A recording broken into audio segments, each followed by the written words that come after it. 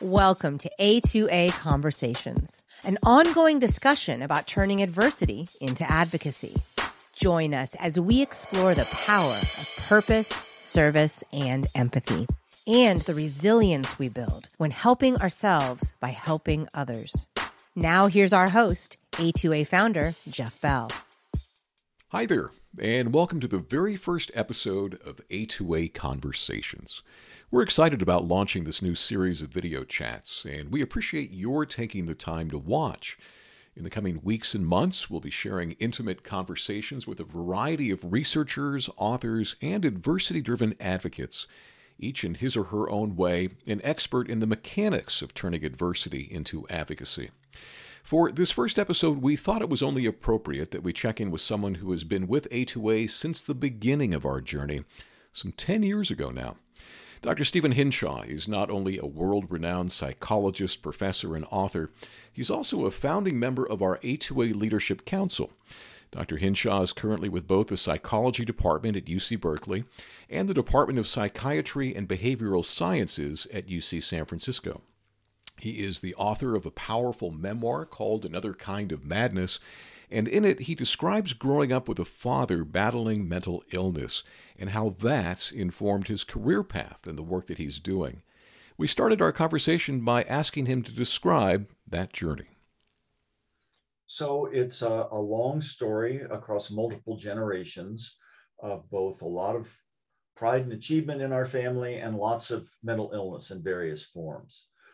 My dad, who was a philosopher, sort of started his journey into mental illness at the age of 16 when in Southern California, he was the fourth of, of six boys in this family. His father was a national and international prohibition leader, was convinced in the mid 30s that he was the sole person on earth destined to fight Hitler and Mussolini and the mm. Nazis and fascists. He was undergoing what we now know was a fast rising episode of very severe mania. Uh, no one knew it at the time when he was diagnosed. It was with chronic schizophrenia, showing how little we knew about serious mental illness back a couple of generations ago.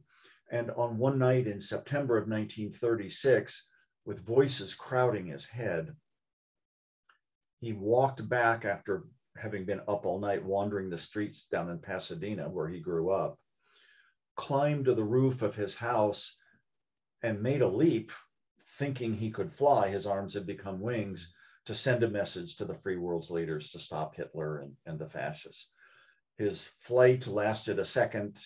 He crashed. He had a concussion. He broke his left wrist, was rushed to the hospital, set, spent six months on a back ward of a county hospital public facility in Southern California, recovered spontaneously, went on to Stanford and Princeton. He worked with Bertrand Russell and Albert Einstein at Princeton. Fabulous career interrupted many times by these precipitous, what we now call mixed episodes, combinations of severe mania with depression and despair. When I was little, dad was my go to philosophy professor. My sister and I visited his office in University Hall at Ohio State, but he would be gone for three months, six months, or at one point a year at a time with no warning. We never knew where he was. No one was allowed to talk about it. His lead doctor at OSU told him and my mother that if my sister and I ever learned of his mental illness, we'd be permanently destroyed. So the doctor's orders were never talk about it. So what do kids do when stuff like this happens? Well, I guess you could believe the world's a pretty awful, cruel place, or you could believe it's your fault. Well, it's not my sister's fault or my fault, but at least it gives a semblance of control. But the control comes at a cost of anxiety, depression, and internalization. So I knew pretty early on I wanted to go into medicine or psychology. Dad came out of the closet, so to speak, when I was a freshman in college, returned to Columbus for my first spring break. And lo and behold, he realized I wasn't a child anymore. He wasn't defying the doctor's orders. So he told me about his episodes and his life, which motivated me to become a clinical psychologist and study not only child and adolescent psychopathology and treatments, but also to fight the stigma that still clings to mental illness. So that was your major driver in, in publishing the story, Steve, was to Absolutely. do what you can to break yeah. down some of the stigma out there. Um, I want to talk about stigma vis-a-vis these principles of purpose and service. Yeah. Um, I, I know from my own journey that when we share our stories, we help break down stigma. It's what you've done in your book. It's what so many of us in A2A have done over the years or have attempted to do. But I also know that we derive something personally from that process as well. And for me, it's a sense of purpose. Can you speak to that?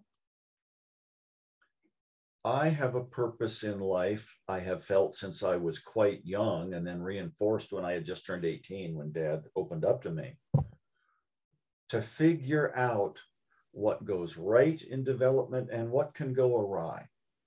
And I'm committed to the science of understanding genetic roots, family roots, cultural and school based roots of, of mental disorders but I'm also committed over the years to storytelling. All the scientific facts in the world can help raise literacy. And the American public knows tons more about mental disorders than a generation or two ago.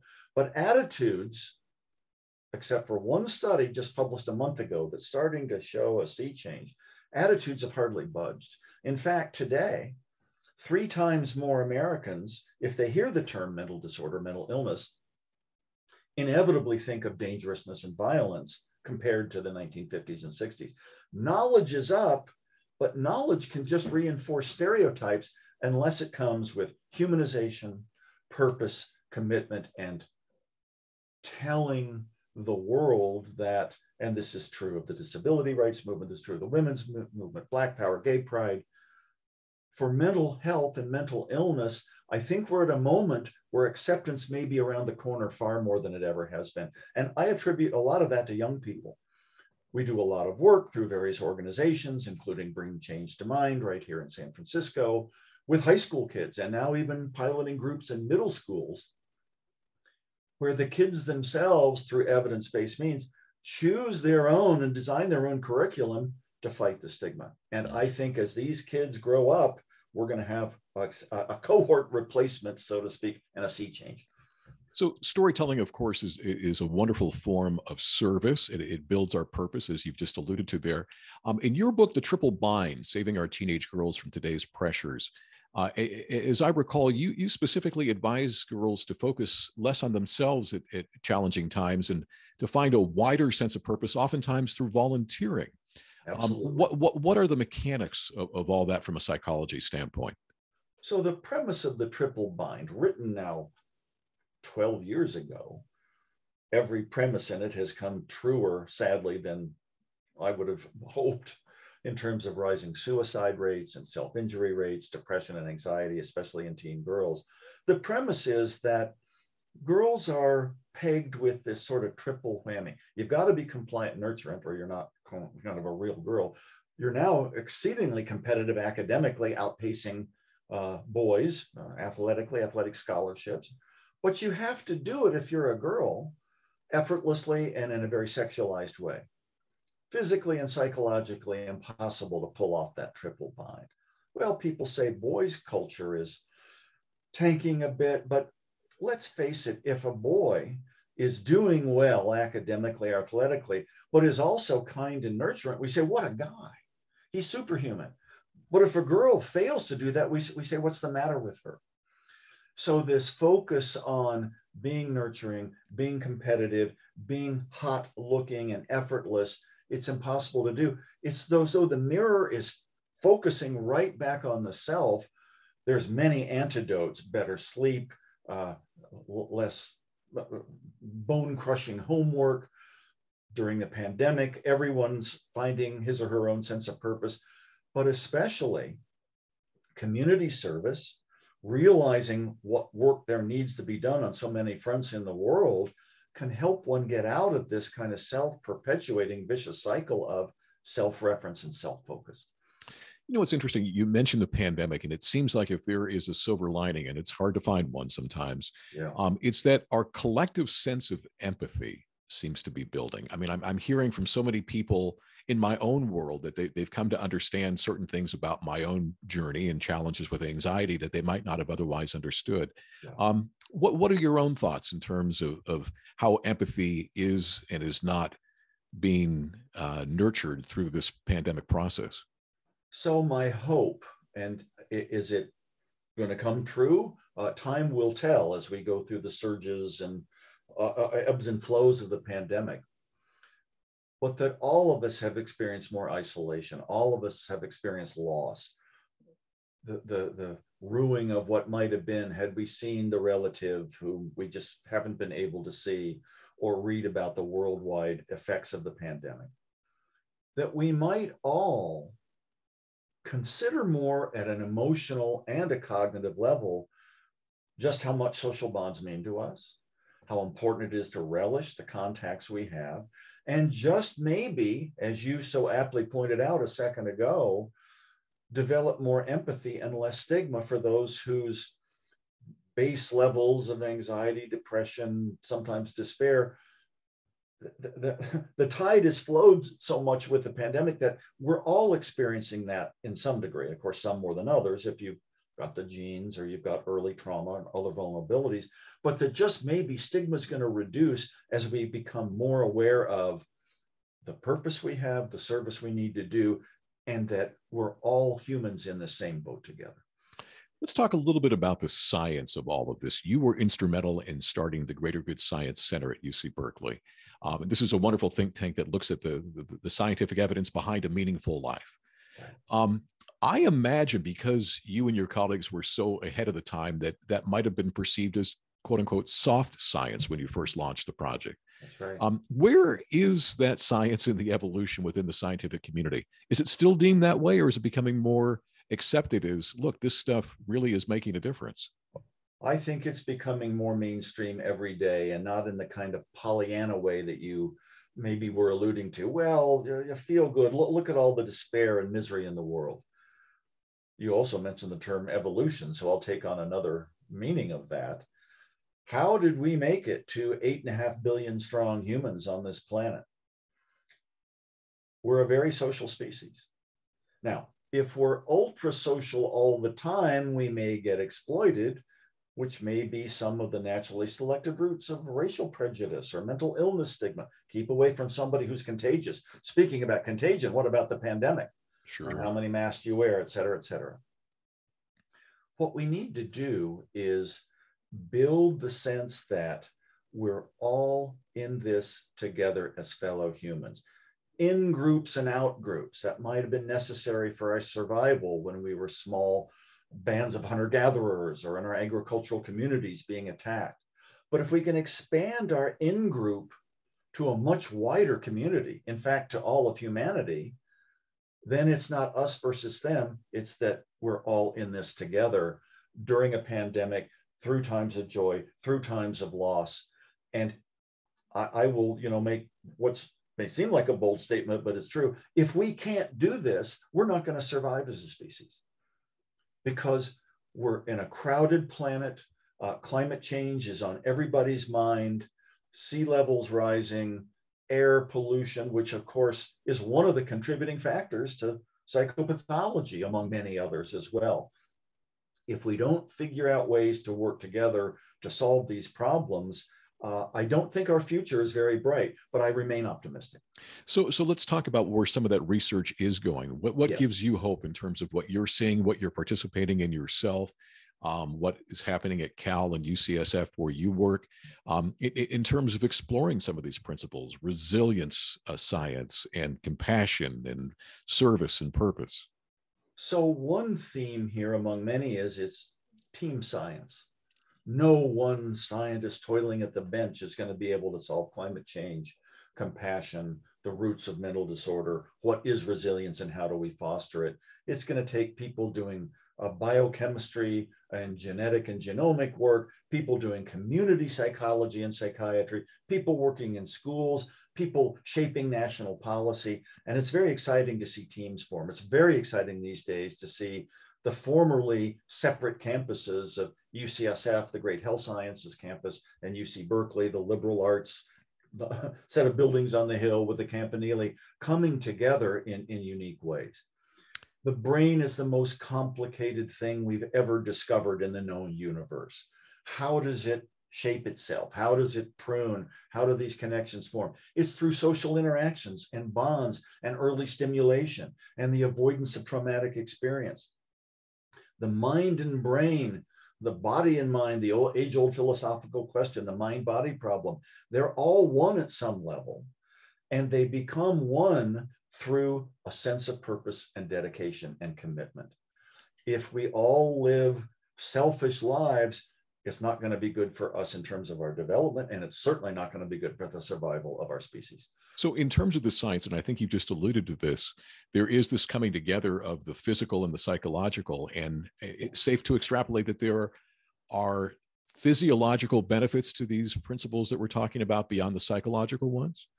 So, let's just take a, a, a simple but very important example. Every study done on every species known to humankind shows that exercise and activity is good for not only the body but the brain and mind. Sure.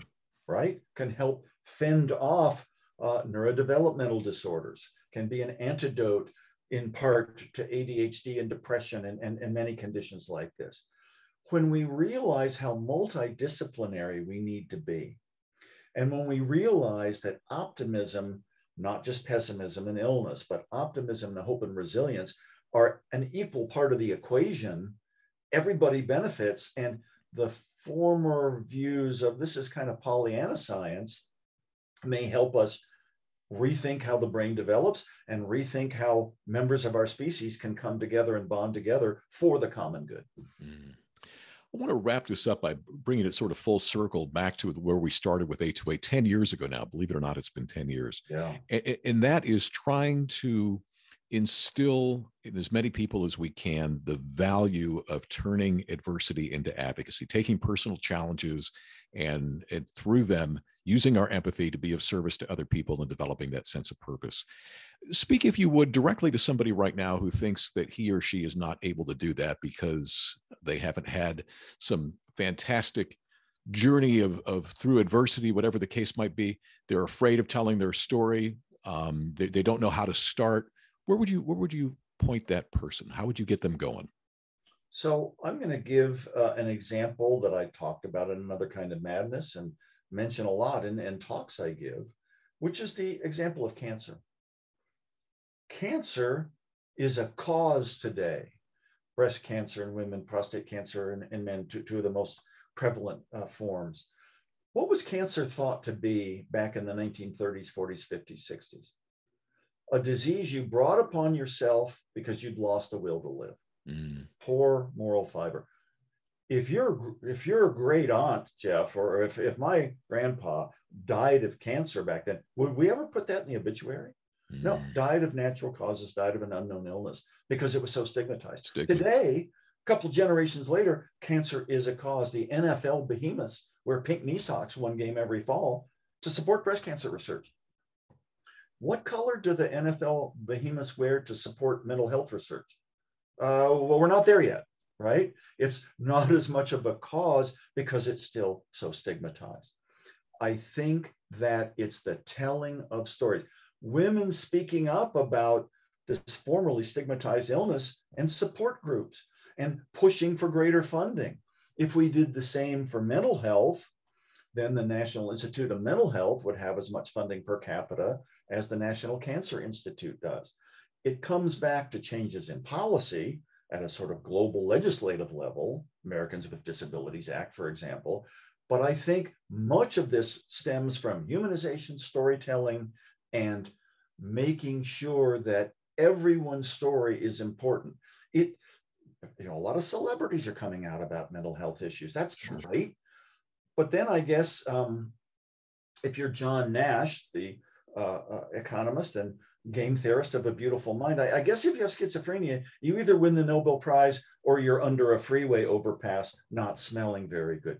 It's the everyday triumphs, many tragedies, uh, many joys. When stories are told like this, no one can ignore the issue. Dr. Hinshaw, thanks so much for being first, our, our first guest on the new A2A Conversations podcast, but even more for all your support over 10 years. We really appreciate everything you've done to help guide us and move us in the right direction. Well, A2A is one of a growing number of heartfelt yet business savvy enterprises, nonprofits that know it's going to take a lot of people coming together to change the world in healthy ways. So, more power to you. Happy 10th anniversary and glad to be uh, the first guest for this new series. Thank you. And, and here's to the next 10 years. That's right. You've been watching A2A Conversations, a presentation of the nonprofit A2A Alliance.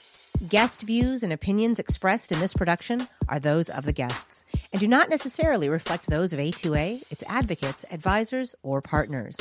To watch more of our A2A conversations, please visit us online at a2aalliance.org.